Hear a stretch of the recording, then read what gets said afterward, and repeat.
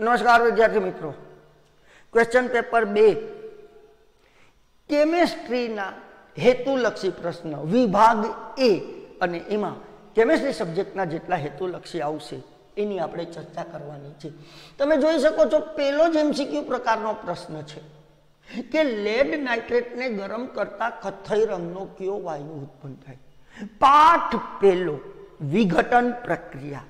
Lead નાઇટ્રેટને ગરમ કરતા તો મિત્રો, સાચો જવાબ આવશે. પેલા ક્વેશ્ચનનો નાઇટ્રોજન ડાયોક્સાઇડ. કેવા રંગનો વાયુ છે? કથ્થઈ રંગનો વાયુ ઉત્પન્ન થાય છે. તો આમાં તમારો જવાબ હશે વિકલ્પ સી. સાચો જવાબ. હવે નીચેમાંથી સંતૃપ્ત બીજા ક્વેશ્ચનની ચર્ચા કરીએ આપણે. સંતૃપ્ત હાઇડ્રોકાર્બન કોને કહેવાય? તો આપણે ભણી ગયા આલ્કેન એન સંતૃપ્ત હાઇડ્રોકાર્બન છે. આલ્કીન આલ્કાઇન અસંતૃપ્ત હાઇડ્રોકાર્બન છે. તો આમાંથી જુઓ, વિકલ્પમાં કોની પાછળ એન પ્રત્યય આવે પેલો જ વિકલ્પ મને દેખાય છે. હેક્ઝેન જુઓ પાછળ કયો પ્રત્યય આવે છે? એન એટલે કઈ શ્રેણીનો સભ્ય છે? આલ્કેન શ્રેણીનો સભ્ય છે. અને આલ્કેન સંતૃપ્ત હાઇડ્રોકાર્બન છે. જેમાં કાર્બન પરમાણુની ચારેય સંયોજકતા સહસંયોજક એકલ બંધ દ્વારા પૂર્ણ થયેલી હોય છે. તો આલ્કેન શ્રેણીનો સભ્ય હેક્ઝેન, એટલે આપણો વિકલ્પ એની અંદર આવશે. એ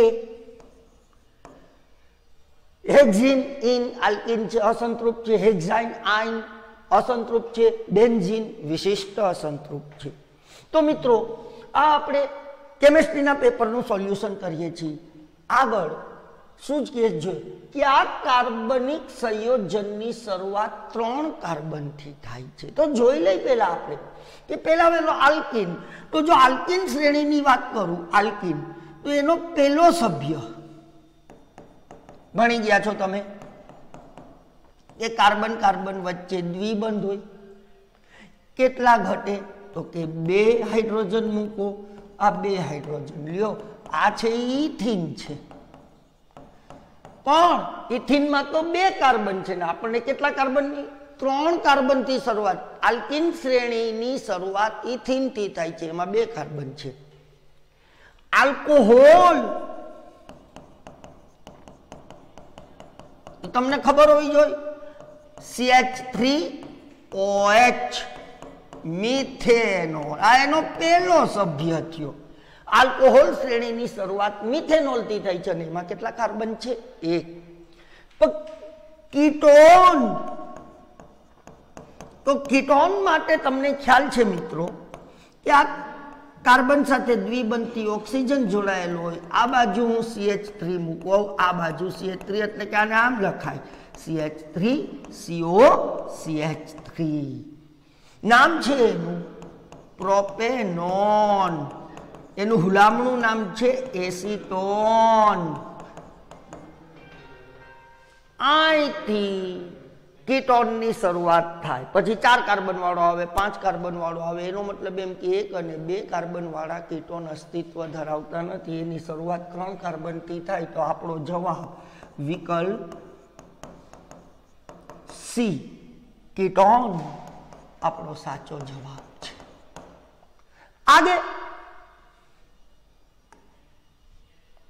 નીચે આપેલ વિધાનો સાચા બને તે રીતે ખાલી જગ્યા ખાલી જગ્યા તત્વની પ્રતિક્રિયાત્મકતા સૌથી વધુ છે. Fluorine bromine iodine. તો તમને આ પ્રશ્ન પૂછવામાં આવ્યો છે પાઠ પાંચમો તત્વનું આવર્તનીય વર્ગ. તો તમને પહેલા વહેલા તો એ ખબર હોવી જોઈએ કે ફ્લોરિન બ્રોમિન આયોડિન કયા સમૂહમાં આવેલા છે.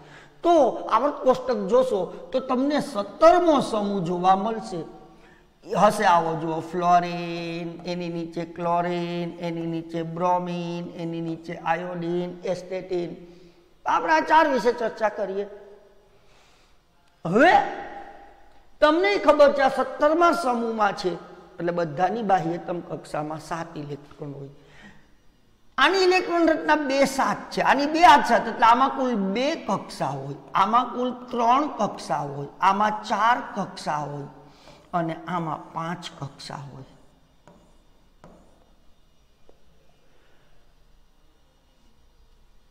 હવે બધાની બાહ્યતમ કક્ષામાં કેટલા ઇલેક્ટ્રોન છે? સાત સાત સાત સાત. બધા શું વૃત્તિ ધરાવે છે? એક ઇલેક્ટ્રોન મેળવવાની વૃત્તિ એટલે બધા એક એક એક એક એક એક મેળવીને અષ્ટક પૂરું કરશે. પણ આપણે એ જોવાનું છે કે આ બધાઈમાંથી કોણ ઝડપથી ઇલેક્ટ્રોન તો તમે જો અહીંયા ખાલી પરમાણુનું કદ બે કક્ષા સુધીનું છે. જેમ જેમ જેમ જેમ નીચે આવીએ, પરમાણુના કદમાં શું થતો જાય? વધારો થતો જાય. ન્યુક્લિયસથી અંતર વધતું જાય, અંતર વધે તો આકર્ષણ ઘટે. એટલે કે ઇલેક્ટ્રોન મેળવવાની વૃત્તિ ઘટતી જાય છે. કારણ તો કે અંતર વધી ગયું, ઇલેક્ટ્રોન તો બહારથી ન જવાનો છે. ફ્લોરિનનું કદ સૌથી નાનું છે. જેથી કરીને એ કોઈ ઇલેક્ટ્રોન હોય તો એને ઝડપથી પોતાની તરફ આકર્ષી શકે છે. એટલે આપણને જે વિકલ્પ આપ્યા છે ફ્લોરિન, બ્રોમિન, આયોડિન. તો આ ફ્લોરિન, આ બ્રોમિન આયોડિન, એમાં આપણો જવાબ આવશે ફ્લોરિન.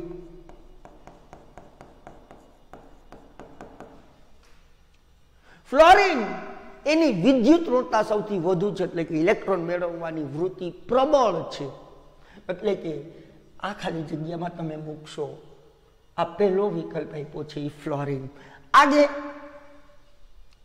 નીચે આપેલ વિધાનો ખરા છે કે ખોટા તે જણાવો. નાઇટ્રોજનની સંયોજકતા પાંચ છે એમાં પણ પૂછ્યું તો આપણે સાચું છે ખોટું એ કહેવાનું છે. તો પહેલા વહેલા તો આ નાઇટ્રોજન પરમાણવીય ક્રમાંક સાત. એની ઇલેક્ટ્રોન રચના થશે બે પાંચ. આ કે કક્ષા, આ એલ કક્ષા. બાહ્યતમ કક્ષામાં પાંચ ઇલેક્ટ્રોન છે, તો એનો મતલબ એમ ન થાય કે એની સંયોજકતા પાંચ. જ્યારે બાહ્યતમ કક્ષામાં ઇલેક્ટ્રોનની સંખ્યા ચાર કરતા વધુ હોય, ત્યારે સંયોજકતા નક્કી કરવા માટે આઠ નંબરમાંથી શું કરવા પડે? તો કે બાહ્યતમ કક્ષાના ઇલેક્ટ્રોનની સંખ્યા બાદ કરો. આઠમાંથી, જો બાહ્યતમ જસ્ટ ઉદાહરણ આપું, બાહ્યતમ કક્ષામાં પાંચ હોય તો આઠમાંથી પાંચ બાદ કરો, બાહ્યતમ કક્ષામાં છ હોય તો આઠમાંથી છ બાદ કરો, બાહ્યતમ કક્ષામાં સાત હોય તો આઠમાંથી સાત બાદ કરો, બાહ્યતમ કક્ષામાં આઠ હોય તો આઠમાંથી આઠ બાદ કરો. એ હા જે તત્વોની બાહ્યતમ કક્ષામાં એક, બે, ત્રણ, ચાર ઇલેક્ટ્રોન હોય તો એની સંયોજકતા વન ટુ થ્રી ફોર જ થાય. પણ જ્યારે બાહ્યતમ કક્ષામાં ઇલેક્ટ્રોનની સંખ્યા ચાર કરતા વધુ હોય, ત્યારે તમારે ઈ સંખ્યાને આઠમાંથી બાદ કરો. તો અહીંયા જુઓ, આઠમાંથી હું બાદ કરું. બાહ્યતમ કક્ષામાં કેટલા ઇલેક્ટ્રોન છે? પાંચ. તો આઠમાંથી પાંચ જાય મિત્રો. જવાબ કેટલો આવે? ત્રણ. એનો મતલબ એમ કે નાઇટ્રોજનની સંયોજકતા પાંચ નથી, સંયોજકતા કેટલી છે? ત્રણ. તો આપેલ વિધાન છે. એ વિધાન કેવું છે મિત્રો? તો કે આ વિધાન ખોટું છે. ઓકે? તો આ કેમેસ્ટ્રીના હેતુલક્ષી પ્રશ્ન આપણે સોલ્વ કર્યા. અને હવે આપણે બી વિભાગ તરફ આગળ વધીએ છીએ. આભાર વિદ્યાર્થી મિત્રો.